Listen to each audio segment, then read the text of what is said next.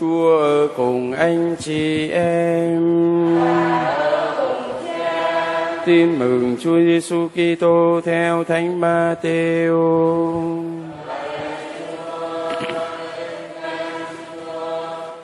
Khi ấy các môn đệ đến bên Chúa Giêsu mà hỏi: Chớ thì ai là kẻ lớn nhất trong nước trời? Chúa Giêsu gọi một trẻ nhỏ lại đặt nó giữa các ông mà phán rằng: Thật thầy bảo thật các con, nếu các con không hóa nên như trẻ nhỏ, các con sẽ không được vào nước trời. Vậy ai hạ mình xuống như trẻ nhỏ này, người ấy sẽ là kẻ lớn nhất trong nước trời. Và kẻ nào đón nhận một trẻ nhỏ như thế này vì danh thầy, tức là đón nhận thầy. Các con hãy coi chừng đừng khinh rẻ một trong ai, một ai trong những kẻ bé mọn này. Vì thầy bảo thật các con, thiên thần của chúng trên trời hàng chiêm ngưỡng thánh nhan cha ta đấng ngự trên trời. Các con nghĩ sao, nếu ai có một trăm con chiên mà lạc mất một con, thì người đó lại không bỏ chín mươi chín con chiên trên núi để đi tìm một con chiên lạc sao? Và nếu người đó tìm được, thầy bảo các con, người đó sẽ vui mừng vì con chiên đó hơn chín mươi chín con chiên không thất lạc. Cũng vậy cha các con trên trời không muốn để một trong những kẻ bé mọn này phải hư đi. Đó là lời Chúa.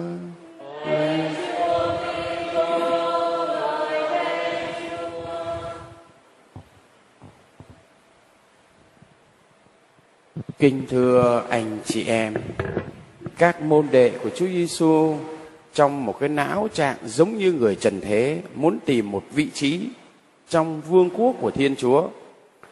Thưa thầy, trong nước trời ai là kẻ lớn nhất? Chúa Giêsu gọi một trẻ nhỏ lại và anh chị em để cái câu hỏi là ai ở trong nước trời là lớn nhất thì Chúa Giêsu dẫn một trẻ nhỏ lại, Ngài sẽ nói hai yếu tố, hai vế.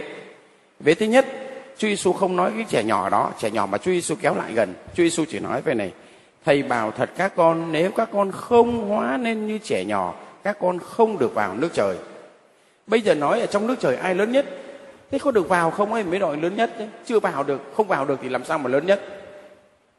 Thì cái câu hỏi là trong nước trời ai là lớn nhất? Phải thế thì Chúa Giêsu trả lời vế thứ nhất, nếu các con không nên như trẻ nhỏ, các con không được vào nước trời. Như vậy thì câu hỏi này, cái vế thứ nhất là phải trở nên trẻ nhỏ mới được vào nước trời. Sau đó chúng ta mới thấy câu hỏi, chúa, ai hạ mình xuống như trẻ nhỏ này, tức là cái đứa bé mà chúa dẫn đến, thì người ấy là kẻ lớn nhất trong nước trời.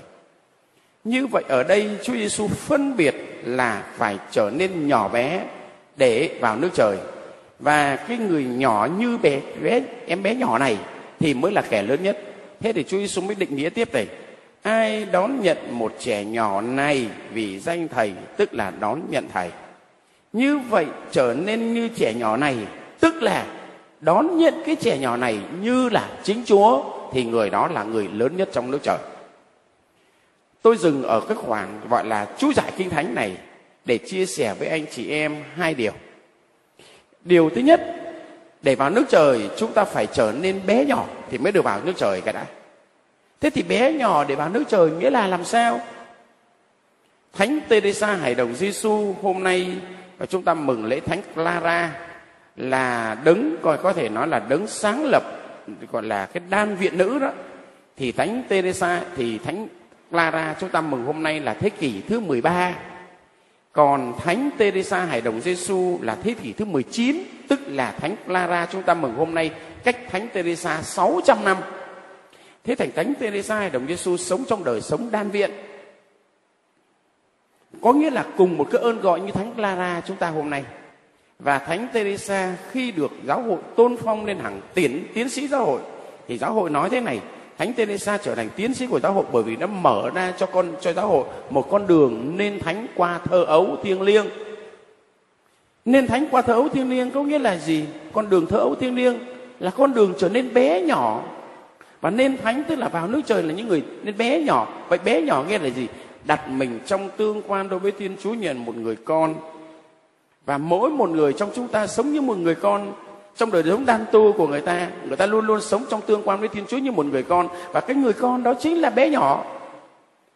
Chúng ta, khi chúng ta sống không phải là cái thể xác to hay nhỏ đâu, mà cái tâm trạng của chúng ta lúc nào cũng cho là người lớn.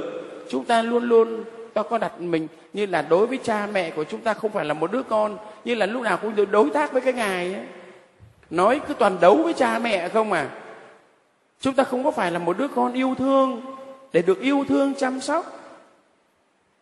Thành thử ra khi còn bé thì rất là dễ thương. Cha mẹ yêu thương, chăm sóc thì dễ bảo. Đến khi lớn lên rồi, chúng ta toàn là người lớn hết. Thành ra người lớn hết, toàn là đối đầu không à? Nên chúng ta không phải là trẻ nhỏ. Người con trong nước trời là những người nhỏ.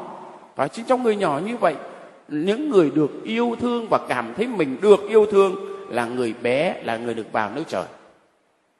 Thế rồi bây giờ Chúa Giêsu nói phải hạ mình bé nhỏ như trẻ này. Nghĩa là đón nhận trẻ này là hình ảnh của Chúa là người lớn nhất trong nước trời. Anh chị em Chúa Giêsu nói khi người đón nhận bất cứ một ai đây là, là các người đón nhận chính ta. Và khi đón nhận chính Chúa là gì? Là chúng ta dự phần với Chúa. Và dự phần với Chúa là chúng ta trở thành là người lớn nhất trong nước trời tôi xin phép kết thúc bằng cái hình ảnh này. Anh chị em nhớ cái lần đó. Lúc bấy giờ, Chúa Giêsu rửa chân cho các thánh tông đầu. Đến cái chỗ ông Phêrô, ông nhất định không cho rửa. Thế thì ông, Chúa Giêsu nói, nếu mà con không cho thầy rửa chân, con không dự phần với thầy. Ông mới nghe nói dự phần một cái. Ông bảo, vậy thì thôi, bây giờ không những rửa chân mà rửa hết cả đầu nữa luôn. Chúa bảo, không, người đã sạch rồi thì không phải rửa như thế.